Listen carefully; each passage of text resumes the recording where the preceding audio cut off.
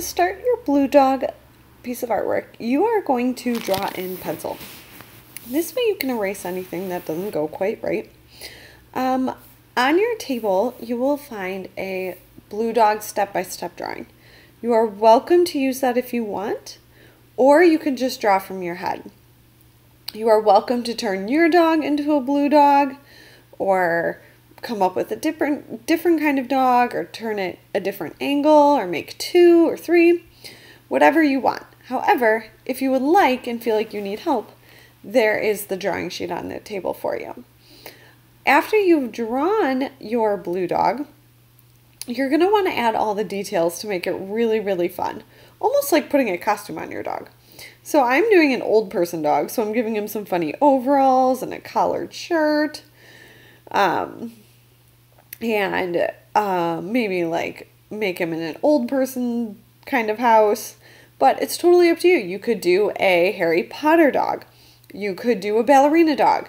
You could do a Charlie and the Chocolate Factory blue dog. Um, anything you can come up with. I've seen so many good ideas. Once you're finished with the pencil, then you outline everything in Sharpie. Make sure that you have both a thin and a thick Sharpie so that if you have tiny details, you can use a thin Sharpie.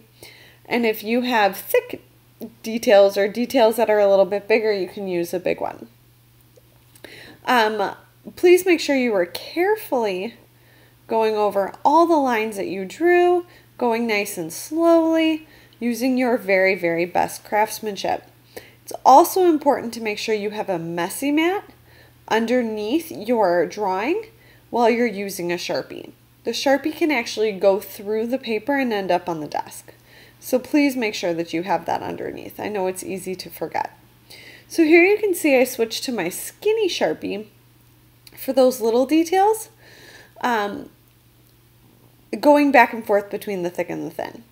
When I'm all done with my Sharpie, I erase. There's big pink erasers, um, either on the card or the back table, and you can go over all of those lines that you didn't quite get so it looks a little bit neater with better craftsmanship in the end.